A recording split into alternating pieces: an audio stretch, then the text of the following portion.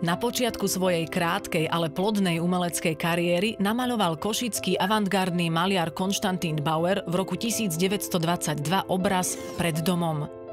Dielo tentoraz nezachytáva sociálno-kritický motív chudoby a biedného života na košickej periférii, čo bolo neskôr pre Bauerovú tvorbu také charakteristické. Na obraze vidíme jednoznačne vidiecký výjav, z nezvyklého vtáčieho pohľadu sa pozeráme do úzkej uličky uzavretej radom obytných domov a hospodárskych stavieb. Budovy sú zobrazené v jednoúbežníkovej perspektíve a hlavná dejová línia je sústredená do diagonály predstavujúcej úzky vnútorný dvor. Pred veľkým murovaným domom, ktorý je umiestnený do centra pozornosti, je naukladaných množstvo vecí. Sú to predmety každodennej potreby, alebo náradie používané na poľnohospodárskú prácu. Umelcov delený maliarský rukopis a pastózna maľba bez detajlov neumožňuje bližšiu identifikáciu zachytených vecí.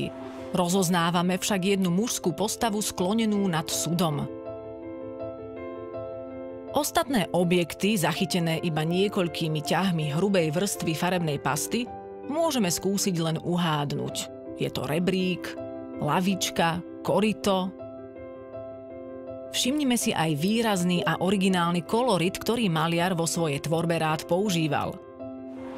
Obraz patrí k dôležitým medzníkom maliarovej tvorby, rovnako ako iní autory výtvarnej moderny, aj Bauer hľadal motívy pre svoje diela v náladách dediny a vidieckého života.